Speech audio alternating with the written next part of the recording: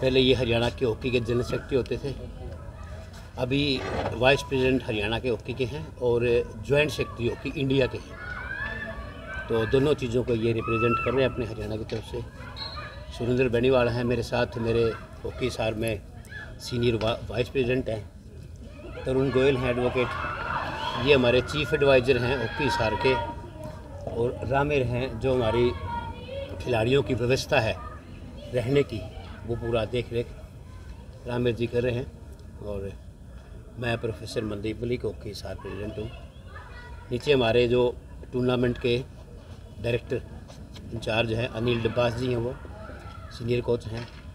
और मेरे साथ general secretary Azad Singh Malik, senior coach हैं। वो इसलिए प्रेस में नहीं आ पाए क्योंकि हमारा इशार का मैच चल रहा है। तो बींगे वो टीम मैनेजर तो ग्राउंड में हैं। इस प्रकार से अलग अलग विभिन्न ज़िलों के कोचिज़, मैनेजर्स, वो सब अपने यहाँ ग्राउंड में हैं। और कल ओपनिंग आप में से सभी लोग थे और मैं आपका धन्यवाद करता हूँ। आज की प्रेस में बहुत अच्छा आप लोगों ने सहयोग किया है और आगे भी चार दिन का प्रोग्राम है। उसमें भी आप ये सहयोग करते रहेंगे। चौदह तारीख को मैं आपको बताऊँगा कि दो बजे जूनियर का फाइनल मैच है और पारितोषिक वितरण भी है जूनियर का।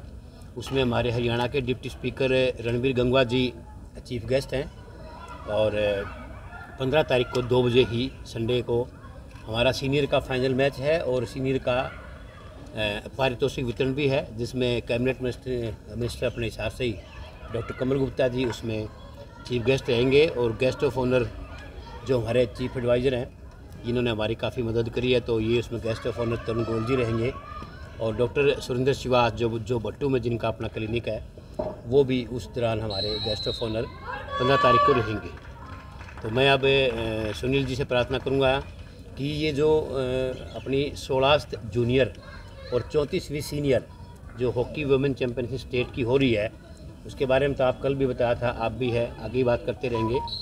आज के जो मैच हैं, वो सीनियर वर्ग के दो मैच हुए हैं, मैं आपको जानकारी बता दूँ। हिसार और महेंद्रगढ़ का सुबह मैच था। हिसार ने महेंद्रगढ़ को 12 ज़ीरो से हरा करके बहुत बड़ी जीत दर्ज हासिल की आज। और दूसरा मैच था, जो सुबह था, करनाल वर्सेस जींद का सीनियर वर्ग का, जिसमें चार ज़ीरो से करनाल ने जींद को हराने का काम किया है।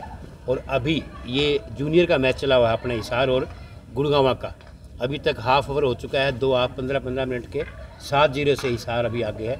आगे रिज़ल्ट जो भी आएगा, आप उसमें देख लेंगे। ये मैं आपको जानकारी दे रहा हूँ। अब सुनील मलिक जी, एक और अपने इशार के लिए, इस ग्राउंड के लिए बहुत बड़ी अचीवमेंट कल ही सुनील मलिक जी के प्रयासों से आई है खेलो इंडिया की। उसके बारे में सुनील जी से प्रार्थना करूँगा कि वो आपको उसकी विस्तृत जानकारी दें। सुनील जी। सबसे पहले तो मैं जितने हमारे पत्रकार बंधु हैं, उनका मैं धन्यवाद करना चाहूँगा कि इतने शॉर्ट नोटिस पर वो यहाँ पर उपस्थित हुए हैं। और क्योंकि बगैर पत्रकार के कोई भी आयोजन सफल नहीं हो सकता। जब पत्रकार बंधु साथ होते तो आयोजन में चार चाँद लगाना चाहता है। तो अभी हमारा ग्वालियर में खेलो इंडिया यूथ गेम्स हैं। वो हैं एक से लेकर ग्यारह फरवरी तक। और जो उसमें हॉकी है, वो है चार फरवरी से लेकर दस तक। तो उसके लिए अभी हमारे क्वालिफायर राउंड हुआ था भुवनेश्वर में उड़ीसा के अंदर। वहाँ पे हॉकी इंडिया ने बहुत अच्छा प्रदर्शन किया। हमारी जो लड़कियाँ हैं वो वहाँ पर चैंपियन रही और लड़कों ने ब्रॉन्ज मेडल जीता वहाँ पे। उनके भी यहाँ पे यहाँ पे अभी जो फाइनल राउंड है, वो ग्वालियर में होने जा रहा है। और चार तारीख को हमारा हरियाणा का पहला मैच होगा और दस तारीख को फाइनल है। उसके लिए हमारा जो हरियाणा की टीम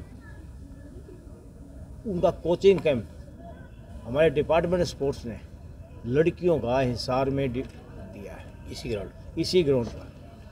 और वो जो टूर्नामेंट जो कैंप होगा वो 16 तारीख से स्टार्ट होगा और 30 तारीख तक चलेगा। जनवरी में। जनवरी के महीने में। और उसके बाद दो तारीख को टीम जाएगी सुबह शाम तक पहुँच जाएगी और चार तारीख को वहाँ मैच खेलेगी। और उसके जो कोच होंगे वो हमारे आज़ाद सिंह मलिक ही हमारे यहाँ के जो सीनियर मोस्ट कोच है वो उनके टीम के कोच होंगे। और एज इट इज़ हमारा लड़कों का जो है वो राय स्पोर्ट्स स्कूल में कैंप दिया गया है। वो भी 16 तारीख से स्टा, स्टार्ट है कैंप और तीस तक चलेगा। और एज इट इज़ चार गुण का पहला मैच होगा। उसमें राजेंद्र सिंह सियाग है वो उसके कोच होंगे वहाँ पे। ये जो खेलो इंडिया यूथ गेम्स हैं ये अंडर 18 है।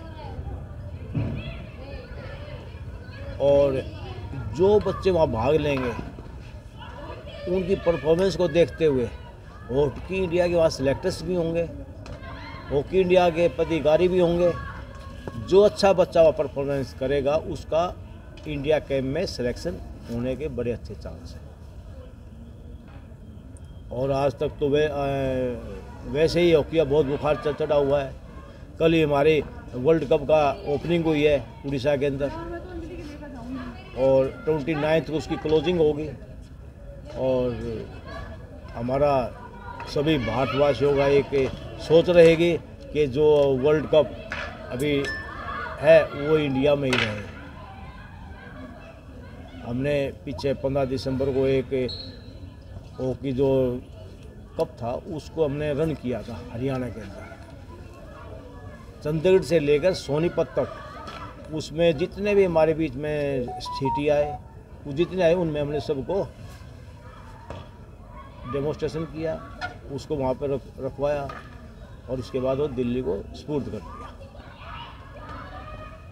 तो मेरा आप लोगों से यही है कि भी जो हमारे यहाँ पे खेलो इंडिया का कैंप लगे, उसमें आप लोगों का बहुत सहयोग मैं चाहूँगा कि उसको कवर करें, उसको अच्छा एक हाईलाइट दिखाएँ, ताकि हमारे जो बच्चे आज चैम्पियन होके आए थे, दोबारा उसी वही अचीवमेंट हमारे ग्वालियर ने हम दोबारा लीव कर। कितने खिलाड़ी भाग लेंगे इसमें इसमें अठारह है हमारी जो टीम है अठारह की है अठारह सिलेक्शन डिपार्टमेंट स्पोर्ट्स कर चुका है।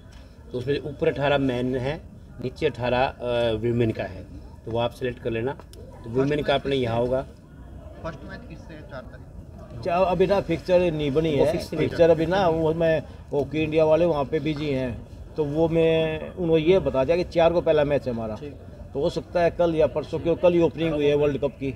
तो बिज़ी होने के कारण कल या परसों वो वो जो ही। जो फिक्सर आएगी मैं आपको क्योंकि सोलह से इकतीस यहीं अपना कैंप रहने वाला गर्ल्स का तो बॉयज़ का सोनीपत रहेगा। तो मलिक साहब हमारे को वो व्हाट्सएप पे डाल देंगे। फिक्सर जो भी होगा बॉयज़ गर्ल्स का वो तो दोनों डल जाएँगे। वो तो मैं क्या डाल दूँ वो तो इंडिया की वेबसाइट उस पर आ जाए वो पब्लिक तो वो है। डॉक्यूमेंट्स होता हो तो। और हमारा जो यहाँ पे कैंप लगे उस पर हम जो परफॉर्मेंस होगी बच्चों की बाई चांस किसी कम हुई या हुई तो हमारे जो दूसरे बच्चे हैं स्टैंड बाई में हम उनको बुला लेंगे। उसकी वो पूरी सर एक क्वेश्चन है। हाँ जो डिस्ट्रिक्ट और स्टेट लेवल पे जो खिलाड़ी अच्छा परफॉर्मेंस देते हैं तो गवर्नमेंट उनको आगे बढ़ाने के लिए किस तरह की स्टेप्स ले रही है? ऐसा है गवर्नमेंट अच्छा स्टेप ले रही है उसमें हमारे को जो भी बच्चे हमारे स्टेट लेवल पे या नेशनल लेवल पे कोई पोजीशन आती है या पार्टिसिपेट करता है उनको कैश अवार्ड दिया जाता है गवर्नमेंट की ओर से। और ये हमारा इंडिया में सबसे बेस्ट अवार्ड होता है कैश अवार्ड सबसे ज़्यादा अवार्ड हरियाणा गवर्नमेंट दे रही है। और उसके बाद जो सर्टिफिकेट बनते हैं कैश कैश अवार्ड नहीं होता, इनकी ग्रेडेशन होती है। जिस ग्रेडेशन के भी यहाँ पे यहाँ पे जो ये सी ग्रुप में या डी ग्रुप में या दूसरे उसमें नौकरियों में, वो डायरेक्ट स्पोर्ट्समैन उनकी भर्ती होती है। ये आपकी जानकारी के लिए बता दूँ मैं कि जो हमारे हॉकी के कोचिज हैं, जो अपने गर्ल्स को देंगे उसमें आज़ाद सिंह मलिक सीनियर कोच हैं और रुचिका मलिक जो अपने स्टेडियम में हॉकी कोच यहाँ है, वो भी उनके सहयोगी रहेंगे। और यमुनानगर से है हरजिंदर कौर हॉकी की कोच है वो। वो तीनों आज़ाद सिंह के उनके हेड रहेंगे, दो कोच उनके सहयोगी रहेंगे। सोलह से और अपने इकतीस तक वो उसकी वो देंगे प्रशिक्षण। बॉयज़ में जो राय स्कूल की मलिक साहब ने बताया था, वो उसमें राजेंद्र सियाग हरियाणा हॉकी की तरफ़ से वो सीनियर उसमें रहेंगे कोच और राहुल पवार सोनीपत से हॉकी प्रशिक्षक हैं कोच हैं, वो उसके सहयोगी रहेंगे। और वीरेंद्र सिंह, जो कुरुक्षेत्र से हॉकी कोच है, वो उस बॉयज़ में उनके सहयोगी रहेंगे। इस प्रकार से तीन कोच वहाँ और तीन कोच यहाँ, सोलह तारीख से इकतीस तारीख तक दोनों टीमों को खेलो इंडिया के लिए प्रशिक्षित करेंगे। तो मैं इशार के लिए बात करता हूँ। विशेष तौर से हमारा सौभाग्य है कि हॉकी इंडिया के ज्वाइंट सेक्रेटरी हॉकी हरियाणा के वाइस प्रेसिडेंट सुनील मलिक के प्रयासों से ये आयोजन हमने फिर एक बार यहाँ पंद्रह सोलह दिन के लिए यहाँ पर अपने हिसार के अंदर रहेगा, क्योंकि ये इसलिए कह रहा हूँ कि दो तीन साल के अंदर जो है ना, वो जो कोरोना की वजह से हमारा सारा काम वो बच्चों का खेलने का डिस्टर्ब हो गया था तो उसमें जो है ना वो दोबारा से ये शुरू हुआ है आपके सहयोग से और आपके उसे जो है ना लोगों के बीच में आज मेरे पास बहुत फ़ोन आए, बहुत लोगों ने कहा कि ये मैच फिर शुरू कर दिए हैं, क्योंकि हम तो कहते हैं ना कि दो मिनट बेटा साइड में। वो कहते हैं ना कि जंगल में नाचा मोर किसने देखा। अब हम तो यहाँ बता सकते हैं, लेकिन मीडिया जो होता है, एक लाइन छपती है। और मैं कह रहा था फोटोग्राफर भाइयों से, एक फ़ोटो छपता है, लाइन तो शायद कम लोग पढ़ते हैं।